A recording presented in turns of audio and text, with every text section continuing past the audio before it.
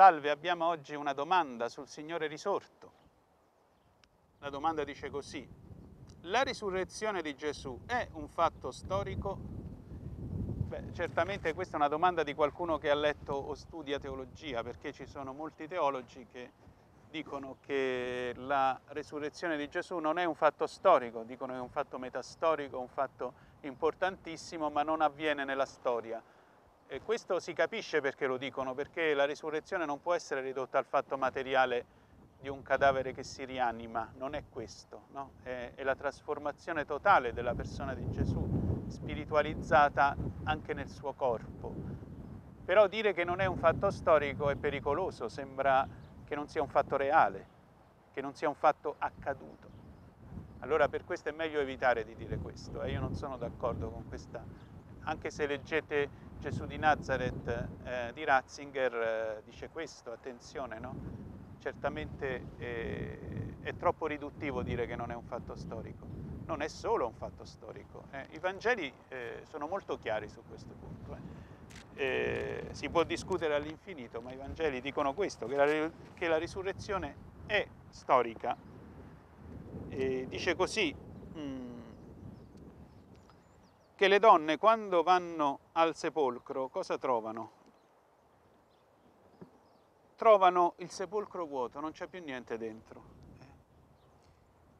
Maria di Magdala e l'altra Maria andarono a visitare la tomba ed ecco vi fu un gran terremoto. Un angelo del Signore infatti sceso dal cielo si avvicinò, rotolò la pietra, si pose a sedere su di essa.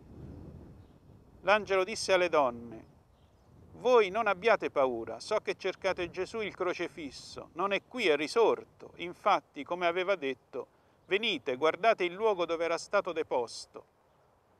È vuoto, il sepolcro è vuoto. Nella storia è successo questo, che questo cadavere è stato trasformato e il sepolcro è rimasto vuoto in un momento imprecisato della notte, ma in un momento storico.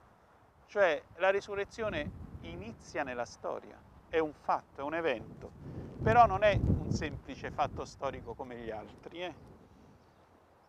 Eh? Gesù risorto si manifesta alle donne, ma succede anche un'altra cosa.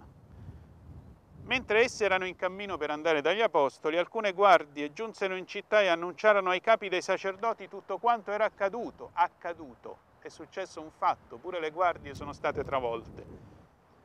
Allora i sacerdoti si riuniscono e dopo averli consultati diedero una buona somma di denaro ai soldati dicendo dite così, i suoi discepoli sono venuti di notte e l'hanno rubato mentre noi dormivamo. E, e, loro fecero così e molti non credettero alla risurrezione di Gesù, pur essendo iniziato come un fatto. Perché? Perché Gesù non si manifesta a tutti risorto. Gesù si manifesta a chi vuole e anche a chi si manifesta Gesù chiede la fede allora non è un semplice fatto storico, è un fatto che supera la storia, perché è, è il punto di contatto tra questa storia umana e l'eternità di Dio, il suo mondo di misericordia, di luce e di amore che supera il tempo, che supera tutto. Però avviene nella storia, inizia nella storia. È come nella nostra vita, no? Tutta la rivelazione di Dio è storica, dai tempi di Abramo, tutto con, avviene a misura d'uomo ma anche la risurrezione avviene a misura d'uomo, però prende l'uomo e lo porta in, un'altezza meravigliosa, come nella nostra vita. Il Signore entra nei fatti concreti della nostra vita, una crisi, un problema, un, una, un senso di solitudine, e come ci soccorre?